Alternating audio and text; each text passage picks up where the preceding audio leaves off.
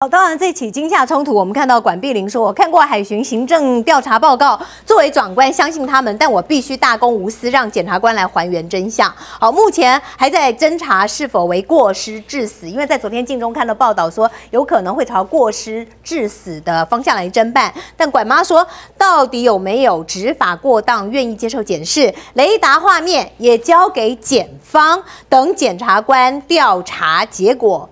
好，但是金门地检署的说。说法又不太一样了，就说现在传言很多都猜错，请呼吁不要随意推论。那当然要朝这个过失致死的方向来侦办。第一线的海巡执法单位整个炸锅了，基层就质疑陆方渔船越界。捕鱼违规在先，我方依法行政执勤，发生意外就要就责判刑，对基层执法人员的士气打击很大。他们自嘲，那以后大家不要驱离大陆渔船，包一包回家休息。呃，这个呃前小金门指挥官厉正杰将军就说，现在是甩锅基层海巡弟兄啦，还有海巡弟兄敢执勤吗？所以会不会接下来反正他们就是压在基层，只向基层问责？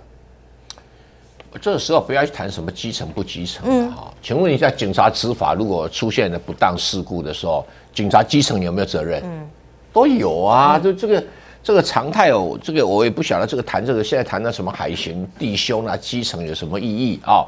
高层有犯错，基层有犯错就要就责，这个没什么好讨论的了哈。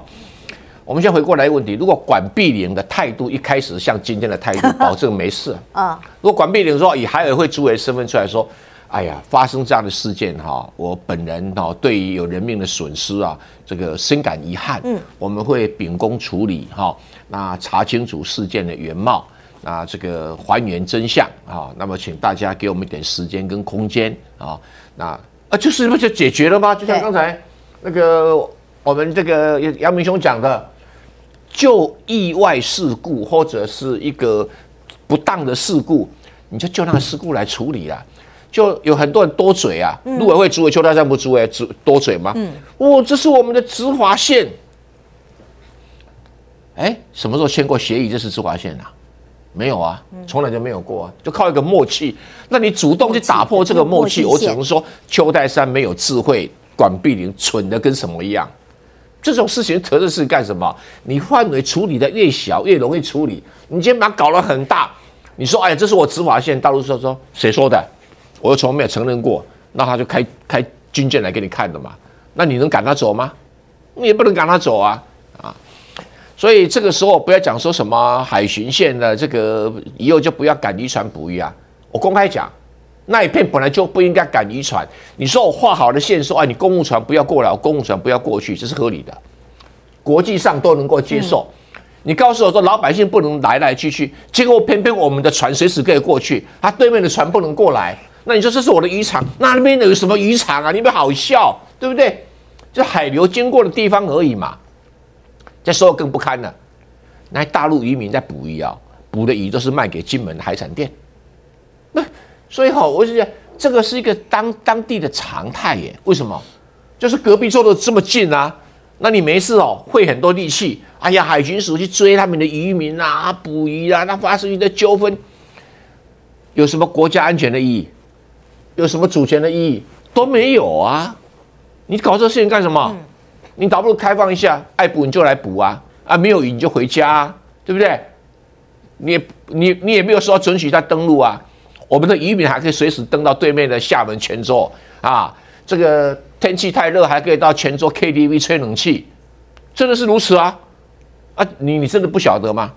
那如果真的不晓得，你海军署的官员在吃什么饭呢？你国安队的官员在吃什么饭呢？这当地的常态就是这个样子的。那你如果说今天很开放说，啊，捕鱼就捕鱼嘛，对不对？鱼鱼一下子回跑到泉州，一下跑到金门，一下子跑到厦门。又不用跨越太平洋，又不用跨越台湾海峡，所以我是觉得你今天把这个辞掉，那以后移民来就不用赶，本来就不用赶，谁叫你赶？是你台湾的法律之规定要赶啊，啊，你自己赶着自己找麻烦。老百姓的东西在两个敌对的政权中间，你让老百姓一点生活的空间嘛？是。以前我们我们的渔民经常在那边捕鱼啊，现在基本有钱啦，不过去啦，都叫大陆渔民捕好了，我们的渔船开出去买他的渔货啊。这还要我解释吗？那你硬要把它说，哎呀，那是走私啊，多可怕啦！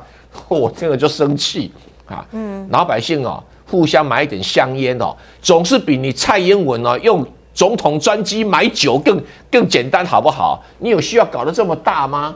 对，你说什么有长香菇，我听了不能听，不要去讲这个有的没有的，好不好？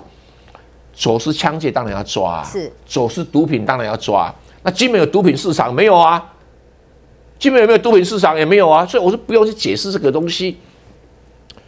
聪明的台湾的执政者，趁这个时机检讨一下，就开放渔场，开放海域，嗯，老百姓来来去去很开心，对不对？那在海巡也轻轻松松，对不对？每天就是九点钟打卡绕一圈，看你有没有大陆公务船来。那你大陆有公务船呢，我就真的跟你对峙给你看，对峙给美国看，这才是本事嘛！你现在大陆公务船来了以后，哎，你跑得远远的，躲得远远，我不敢惹事生端了。美国爸爸，哦，拜托拜托，我绝对没有惹事。那大陆一传来，你凶巴巴的，官跟民的界限你要弄清楚啊，对不对？哈，再举个比方，那个叫重叠海域，老百姓在讨生活的时候，不要画的这么紧啊，隔壁邻居啊。我打个篮球可能跑到你那边去，啊，你打个排球可能跑到我这边来，那是跟国家安全没有关，跟主权象征没有关。